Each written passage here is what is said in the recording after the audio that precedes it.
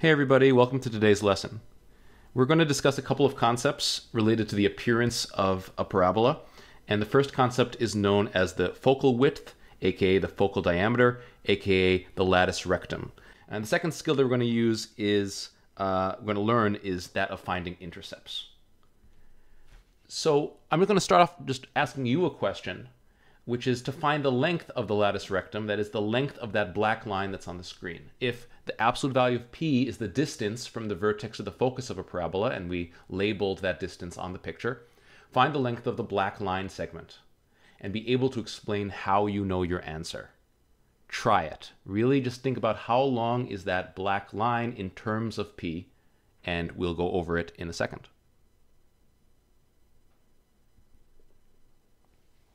First thing is to realize that there are kind of two, there's a distance of 2p from the focus to the directrix.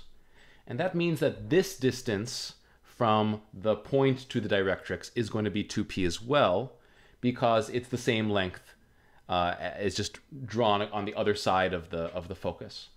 And that also means we know that this side is the absolute value of 2p. And the reason we know that is because every point on a parabola is equidistant from the focus and the directrix. So that point has the same distance to the focus as it is to the directrix. They're both equal to 2p. And because of symmetry, that means that the entirety of that black line is going to be double 2p, which is 4p. So the distance is going to be the absolute value of 4p. Now, why the absolute value? Because distances are always positive. Um, but if p was positive in the beginning, you didn't need to write all those absolute values there. So the length of the latus rectum is always going to be the absolute value of 4p, and this is a very convenient result because 4p appears in the formula. And so you see it right there in the formula for a vertical parabola and for a horizontal parabola. There's always a 4p directly in the formula. So here's a very quick check to see if you understood. How long is the latus rectum for the following equation?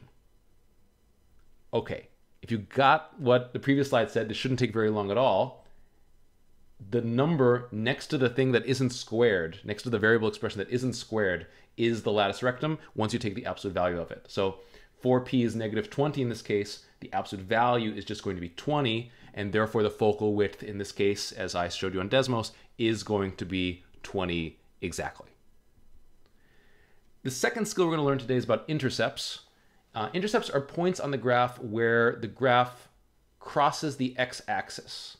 Or you can think of it, the x-axis intercepts steps in the middle of the graph. So an interception in football or soccer is when someone gets in the middle of a path. And so this is when the axis gets in the middle of a path. And in order to find x-intercepts, you set y equal to zero and solve for x. And that's because y equals zero is the x-axis. And to find y-intercepts, you set x equal to zero and solve for y because x equals zero is the y-axis.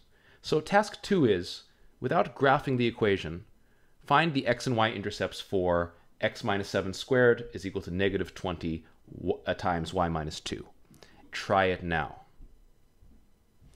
Okay, so we're going to find the x and y intercepts for this equation. And in order to find the y-intercepts, or there could be one, there could be more than one in different instances, you set x equal to 0 because the y-axis is the line x equals 0. In other words, it consists of all the points where the x value is 0. And then you simplify one step at a time. So 0 minus 7 squared is 49. Then you can divide both sides by negative 20 to get a number is equal to y minus 2. You can add 2 to both sides to have y is equal to that particular number, and then you could uh, solve it by hand or enter it in your calculator to get negative 0.45 is equal to y. That's the y value when x is 0. So the point 0, negative 0.45 is the y-intercept. And that's the only one because algebraically, when we solved it, we only got one answer. Now, to find the x-intercepts, you let y equals equal 0, and then you simplify again. Now, at this point, when you take the square root of both sides of the equation, you have to remember that every positive number has two square roots, uh, the positive and the negative version. And so you get the equation x minus 7 is equal to plus or minus square root of 40. And then you can add 7 to both sides to get x is equal to plus or minus square root of 40 plus 7. You could also write that as 7 plus or minus the square root of 40. And that's two different answers, one where the square root is positive and one where the square root is negative. And so that leaves you about 13.33 and 0.68 as the x values, where the y value is 0. So the points are 13.330 and 0.680. Again, these are approximations because square roots are irrational numbers unless they're perfect squares, uh, unless the, it's a square root of a perfect square. And so we have to round at some point, and you know the value that you have to round on depends on context or perhaps crudely what your teacher tells you to do. Um, now, this is what the picture looks like on Desmos, and as you see, the y-intercept is in fact 0, negative 0.45, and the x-intercepts are also appropriate. And you also see why there are two x-intercepts. It's because the uh, you know parabola has a symmetrical structure. Now, the last task is just putting all the stuff we've learned together. So I'm giving you a formula for a parabola. y plus 3 squared is equal to negative 8x minus 4. And as you answer these questions, I also would like you to try to sketch the results of each of these questions. So is it a ver vertical or horizontal parabola? In what direction does it open? Where's the vertex? What is the distance from the vertex to the focus, known as absolute value of p? What are the y-intercepts and x-intercepts? Uh, find the length of the latus rectum, that is the focal width. Uh, write the coordinates of the focus and write the equation of the directrix. Please now take your time and try out this problem before viewing the solution. Okay, so we're going to go through these answers. So first of all, we know it's horizontal because of the equation uh, where the y part is the squared part. So we know that's why it's going to be horizontal, and it's going to open to the left because that negative 8 in the equation uh, tells us it moves leftward. So negative is left and down, positive is up and right. Now the vertex is given by the numbers in the equation, the h and the k. x minus 4, the minus there implies that the h is just positive 4 and the y is negative 3. So the vertex is going to be right there at 4, negative 3. The distance from the vertex to the focus is 2. Okay, p is negative 2, the absolute value of p is positive 2. And you know that because 4p is negative 8. If 4p is negative 8, then p is going to be negative 2, and the absolute value of p is going to be 2. So the focus is going to be 2 to the left of the vertex, and the directrix is going to be 2 to the right of the vertex. Okay, so the directrix is going to be x is equal to 6, and the focus is going to be 2, negative 3 lastly, we know the latus rectum has a length of 8 because that's literally the number in the equation.